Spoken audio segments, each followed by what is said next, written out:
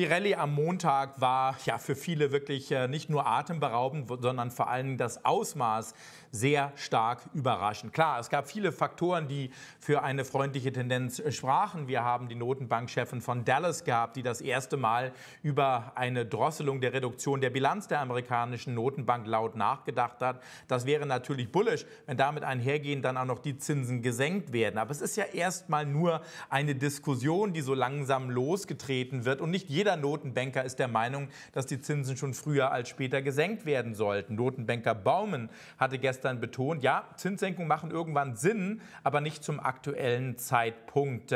Schaut man sich die Inflationsdaten an, gestern die Notenbank von New York hat die, die Inflationserwartungen gemeldet, äh, dann haben auf ein, drei und fünf Jahressicht die Inflationserwartungen erneut deutlich an Dynamik verloren. Daran gemessen sind die Inflationsziele der Notenbank eigentlich schon erreicht. Wenn man sich jetzt mal die Kernrate des PCE anschaut, das ist einer der wichtigsten Inflationsindikatoren der amerikanischen Notenbank, auf sechs Monatsbasis annualisiert sind wir auch schon bei dem 2%-Ziel der amerikanischen Notenbank. Also ja, die Notenbank hat gute Gründe, eher früher als später die Zinsen zu senken. Das war alles bullish für die Märkte am Montag. Der Rest ist FOMO, the fear of missing out. Und so ging es dann schnurstracks und gewaltig stark bergauf. Hauptsache mit dabei. Wir sehen jetzt am Dienstag Gewinnmitnahmen, kaum wirklich überraschend nach dem gewaltigen Sprung nach oben. Es gibt die ein oder andere negative Nachricht. Wir haben zum einen eine Abstufung der Aktien von Netflix durch die Citigroup. Wir haben eine Umsatzwarnung von Microchip Technology. Die Aktie wird schwächer in den Tag starten. Allerdings muss man sagen, auch wenn das auf den ersten Blick sehr dramatisch klingt, ist es nicht so überraschend, wie man denken mag. Die Wall Street ging davon aus, dass die Umsätze bei ähm, Microchip Technology im äh, Dezemberquartal um 18 Prozent sinken würden im Vergleich zum vorhergehenden Quartal. Also die Erwartung war ohnehin schon bei minus 18 Prozent. Jetzt kommt das Management raus und sagt, well, es wird minus 22 Prozent sein. Warum? Kunden haben das Tempo der Produktannahmen gedrosselt. In anderen Worten, die Kunden wollten aufgrund des schwierigeren Wirtschaftsumfelds die Lagerbestände besser managen. Man hat also weniger äh, ausgeliefert an die Kunden und das hat das Quartal verhagelt. So im Vergleich zu Mobileye, die, dort sieht man Umsatzeinbrüche von 50 Prozent, ist ja Microchip Technology noch halbwegs gut. Es gibt nur einen gewaltigen Haken. Mobileye hat sich zu den Aussichten geäußert und die waren schwach. Microchip Technology äußert sich überhaupt nicht zu den Aussichten. Das kreiert natürlich schon so ein bisschen ein mulmiges Gefühl. Und am Rande bemerkt, Samsung Electronics mahnt auch, dass im vierten Quartal die Umsätze und Gewinne leicht unter den Erwartungen des Marktes sehen werden. Also gleich die Gewinnmitnahmen im Tech-Sektor heute Morgen. Wir haben Spekulationen einer möglicherweise großen Übernahme. Das Wall Street Journal berichtet, dass Uniper Networks von Hewlett Packard Enterprises übernommen werden könnte. Die Meldung könnte noch diese Woche kommen. Der Deal hätte ein Volumen von 13 Milliarden Dollar. Muss man sagen, Uniper Networks, tolle Firma, keine Frage, aber das Umsatzwachstum hält sich ziemlich in Grenzen, weil man einen sehr großen Bestand hat an Kunden, die man schon alle Ewigkeit hat, Bestandskunden.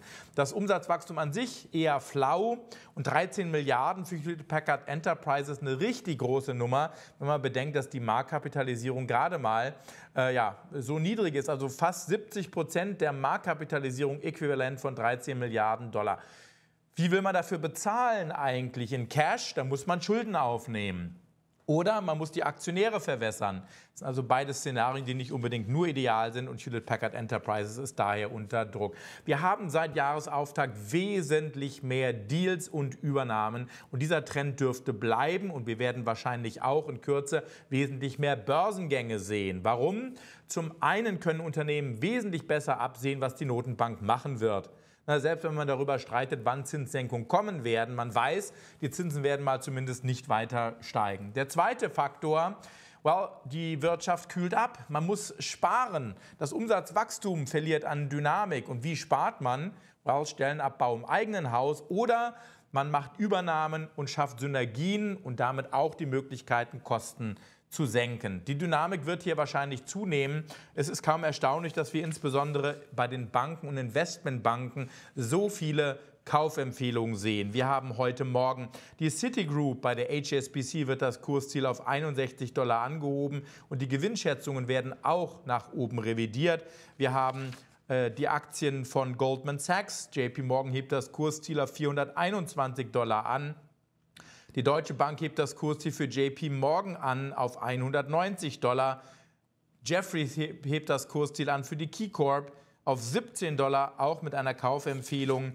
Und äh, Morgan Stanley wird bei JP Morgan zum Kauf empfohlen mit einem Kursziel von 94 Dollar. Also sehr, sehr viel positive Stimmung im Vorfeld der Ergebnisse, die an diesem Freitag gemeldet werden. Die Banken bilden den Startschuss der Berichtssaison. Ne? Wenn das also so kommt, wie die Analysten alles sagen, müsste der Startschuss der Berichtssaison eigentlich ein ganz guter sein. Freitag vorbörslich werden hier, wird hier eine ganze Welle von Ergebnissen in diesem Sektor äh, gemeldet. So, kommen wir noch mal zu Jeffries, auch im Investmentbanking unterwegs, Ertrag und Umsatz über den Erwartungen des Marktes. Und wir haben im Bereich der Einzelhändler auch ganz gute Zahlen. Es läuft zumindest mal besser, als man befürchtet hatte. Auch bei Urban Outfitters im November und Dezember waren die Umsätze besser, als man erwartet hatte. BioNTech hat an einer Analystenkonferenz von JP Morgan teilgenommen und dort betont, dass der Umsatz in diesem Jahr nur 3 Milliarden Euro erreichen wird. Die Wall Street hatte mit fast 3,5 Milliarden Euro gerechnet. Da könnte man also ein Stück weit mit enttäuscht sein. Das Spannende bei BioNTech ist die Tatsache, dass man Cash hat ohne Ende. 17,5 Milliarden Euro. Das sind äh, fast 70 Prozent der aktuellen Marktkapitalisierung, die das Unternehmen in Cash hält. Ist natürlich immer auch ein gewisses Sicherheitsnetz unter dem Aktienkurs von äh, BioNTech. So bei Boeing, das wurde gestern schon gemeldet, United Air hat nun auch bei der Boeing 737 MAX 9 äh, lockere Bolzen gefunden an der Stecktür. Ne, ähnlich wie bei dem Flugzeug der Alaska Air, äh, bei dem die Stecktour dann äh, bei 16.000 Fuß rausgerissen wurde. Gott sei Dank äh, wurde niemand verletzt.